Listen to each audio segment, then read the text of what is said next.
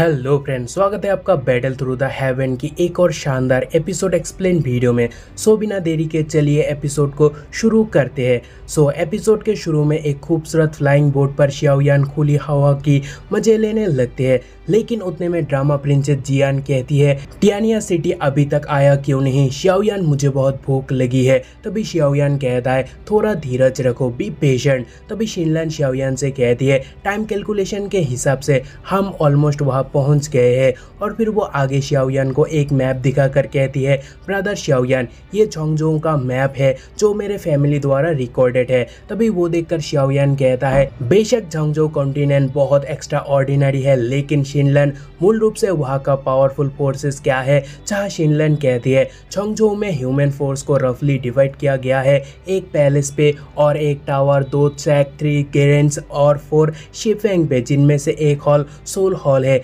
यानी the soul realm, जहाँ soul palace located है और वो झोंगझो में भी बहुत मिस्टेरियस है। और उसके बाद पहला टावर डान पगोरा है, एक ऐसा फोर्ट जो सोल पैलेस जितना फ़ेमस है। और फिर उसके बाद शीलनर शियाओयान को कहता है, ब्रदर, मुझे पता है, सोल पैलेस के साथ आपका सत्तीस की आग्रह है, लेकिन जब तक आपके पास पूरा स्ट्रेंथ ना आए उनसे कॉम्पीट करने के लिए, तब तक आपको पेशेंट रखना होगा। तभी वो सुनकर शियाओयान थोड़ा शांत होता है, क्योंकि सोल पैलेस सुनते ही उसे पास्ट याद आया था और वो बहुत गुस्सा हो गया था। बट शांत होने के बाद वो आगे पूछता है कि टू स्प्रिंग थ्री वैली और शिफंग पेविलियन किसे रिफर करते हैं? जहाँ शिनलन कहती है टियानमिंग और हुआ ये दो सेक्ट का भी चोंगजो में काफ़ी भारी मात्रा में इन्फ्लुएंस है। और जहाँ तक बात है सांगो की तो वो सब ग्लेशियर वैली साउंड वैली और बार्निंग फ्लेम वैली है और तभी शवयन रिएक्ट करता है चू यान फैली तीन मिस्टेरियस हेवनली फायर का सेक्ट और फिर तभी शिनलन झोंगजो के चारों ओर चार पेविलियन के बारे में भी शियाओयान को बताती है। और उसी कारण उसे शिवंग पेविलियन कहा जाता है। और वह शिनलन की कहना था कि वहाँ का फोर्स भी बहुत स्ट्रांग है सो उन्हें प्रोवोक ना करने में ही भलाई है। तभी वो सुनकर शियाओयान कहता है कि झोंगजो तो सच में इंटरेस्टिंग है। तभी शिनलन झोंगजो के बारे में और भी इंफॉर्मेशन शेयर करती है, जहाँ तभी शियान कहती है कि आखिर कब पहुँचेंगे? मैं भूख से मरे, मर रही हूँ। और उतने में वो लोग वहाँ पहुँच जाते हैं। मगर वो लोग वहाँ बहुत से फ्लाइंग बोट देखकर कहने लगते हैं, इतने सारे बोट आखिरकार यहाँ खड़ी क्यों है? उतने में एक पर्सन आके कहता है, कौन हो तुम लोग? क्या तुम्हें टियानिया सिटी का रूल्स मालूम नहीं है? जहाँ शियाओयान कहता है, मैं यहाँ फ़र्स्ट टाइम आया। सो सॉरी मुझे रूल्स मालूम नहीं है। जो सुनकर कुछ गार्ड वहाँ आके उनके ऊपर हंसने लगता है। तभी जो मेन पर्सन है, वो कहता है, देख नहीं रहा, सभी बोट लाइन में है और जो सबसे स्ट्रांग है, वही फ़र्स्ट आगे बढ़ेगा। और फिर वो पर्सन उन्हें यूजलेस कहने वाले थे। उतने में उसके सोच से भी ज़्यादा तेज या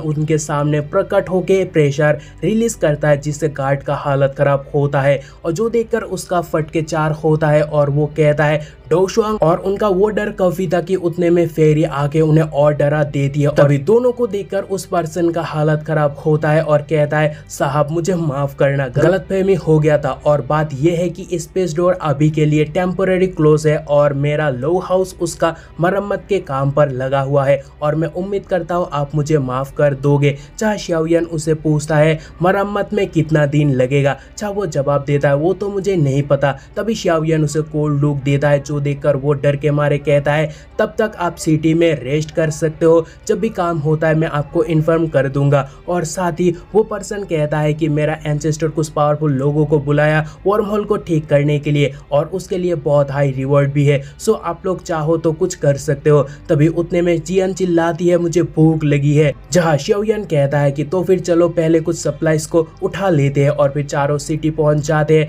जहाँ जियन बस खाने की ओर पर ही है सो वो आगे खाने के लिए जाती है और तभी लुआ फैमिली का एक बिगड़ेल बच्ची मार्केट पर आतंक मचाना शुरू कर देती है। लेकिन जैसे ही वो शियाओयन के सामने आती है तो शियाओयन उसे पकड़ के सबक सिखा देता है।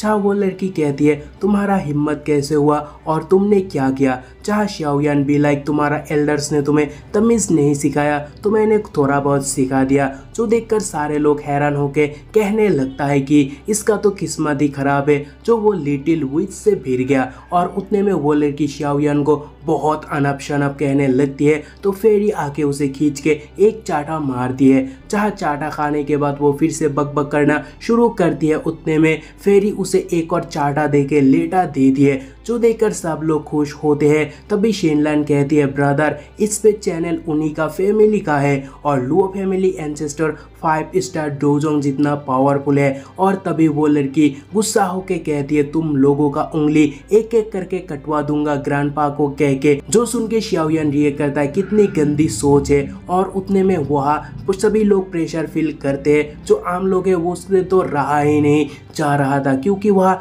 लुओ एंसेस्टर अपेयर होता है, और साथ ही कुछ गार्ड भी, बहुत स्वैग से और तभी लुओ एंसेस्टर कहता है, तुम सब कितने लोग हो जो मेरे लुओ फैमिली को सीरियसली नहीं लेते हो? तभी ग्रैंडपा को देखकर वो बहुत खुश होकर नाटक करना शुरू करती है कि उन लोगों ने मुझे मारा, ये वो वगैरह वगैरह। उतने में एंसेस्टर गुस्सा होकर उन्हें मारने के लिए गार्ड को भेजता है बट फेरी उतने में आके सबको दबोचता है एक साथ, जो देखकर सब दंग रह जाते हैं। और उतने में शियान भी लाइक की, बड़े आए हमसे लड़ने, चलो भागो यहाँ से। एंड फेरी एंसेस्टर को कहती है जब बड़े ही ऐसे हो तो छोटे से क्या ही उम्मीद रखना। और तभी एंसेस्टर सोचता है, डोजंग, ये लड़की तो फायर है, इसका पावर्स मुझसे जरा भी कम नहीं है। और फिर एंसेस्टर इस पावरफुल ग्रुप को देखकर सोचता है, इनका ओरिजिन क्या है? और अभी वार्म होल को रिपेयरिंग की ज़रूरत है तो फाइट करना ठीक नहीं रहेगा, क्योंकि they are damn strong so ancestor उन्हें ग्रीट करता है और कहता है। आज का इंसिडेंट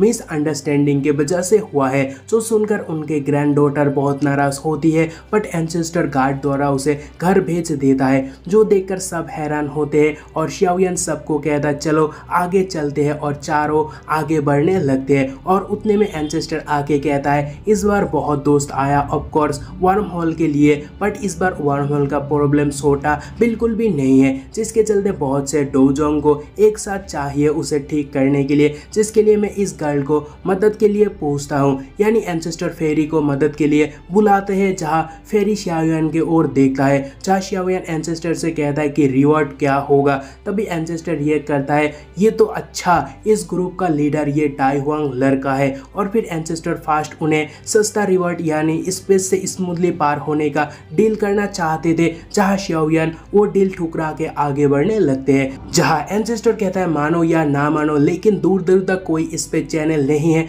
बट शियावियन उनके तरफ़ घंटा भी नहीं देखता। और दूसरी तरफ़ एंसेस्टर के पास और कोई चारा ना होने के कारण वो कहता है ऑल राइट अगर वो लड़की वर्म होल को रिपेयर करने में मदद करती है और मरम्मत अच्छे से हो जाती है तो मैं सेवेंथ लेवल मैजिक को रिवॉर्ड दूँगा। तभी वो चारों रुक जाते हैं और शियावियन seventh sky poison scorpion dragon beast का डिमांड करता है। जहाँ एंसेस्टर कहता है, ये तो एक्सट्रीमली रेयर एक एंशियन बेस्ड है और सेवेंथ लेवल तो मेरे पास बिल्कुल भी नहीं है। जो सुन के शियावियन थोड़ा उदास होता है, उतने में एंसेस्टर कहता है, लेकिन मेरे लुओ फैमिली के पास सिक्स लेवल का एक है। जहाँ शियावियन कहता है, आप हमारे रिक्वायरमेंट्स को तो पूरा नहीं कर पाए हो, लेकिन हम फिर भी मदद करेंगे। और फिर वो फेरी से बातें करता है और तभी एंसेस्टर कहता है तो फिर मेरे साथ आओ। दैन सीन चेंज होता है और एंसेस्टर सबको लेकर फॉर्मेशन प्लेटफॉर्म पर आ जाते हैं, जहाँ हन फैमिली से दो और एल्डर आए हुए हैं और जिन्हें एंसेस्टर ने बुलाया, जहाँ एंसेस्टर उनका इंट्रोडक्शन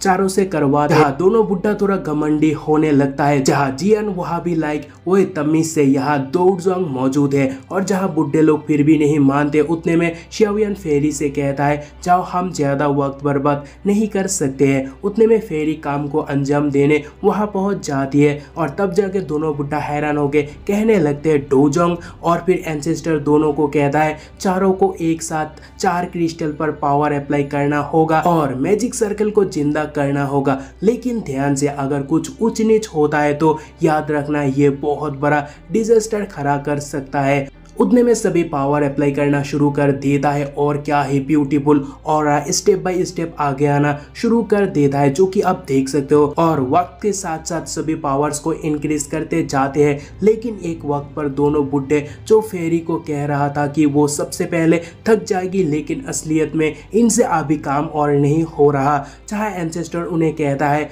हो गया बस थोड़ा और होल्ड करके रखो। लेकिन दोनों आपस में प्लॉट करके पावर्स को अप्लाई करना बंद कर देते हैं और उसी कारण वहाँ तबाही आना शुरू होता है, क्योंकि वह एक डार्क सर्कल क्रिएट होता है, जो ब्लैक होल के तरह हर चीज़ को अंदर खींचना शुरू कर देता है। और सबसे पहले वह कर्मा हिट होता है, क्योंकि वो पहले उन दोनों बुड्ढे को ही खींचना शुरू कर देता है। और उसके बाद उस जाल में शियान शियान और शिनलन भी पड़ जाती है और उन्हें उस हाल में देखकर पॉइजन फेरी बहुत परेशान होती है, क्योंकि शियान को वो चीज़ खींचते ही चली जाती है बट वो बार बार दोनों को मौत के मुँह से वापस ले आता है। यार, वो देखने में बहुत शानदार था बट सेट शियान वहाँ से पूरे तरह निकल नहीं पालते और जिसके चलते फेरी अकेले पूरे जी जान लगा के क्रिस्टल पर पावर अप्लाई करने लगती है, जिसके चलते वो कुछ देर में ही उस चीज़ को काबू करके इस पे चैनल को ठीक कर पाती है। वो भी अकेला और सब ठीक होने के बाद सीन चेंज होता है, जहाँ एंसेस्टर प्रोमिस के अनुसार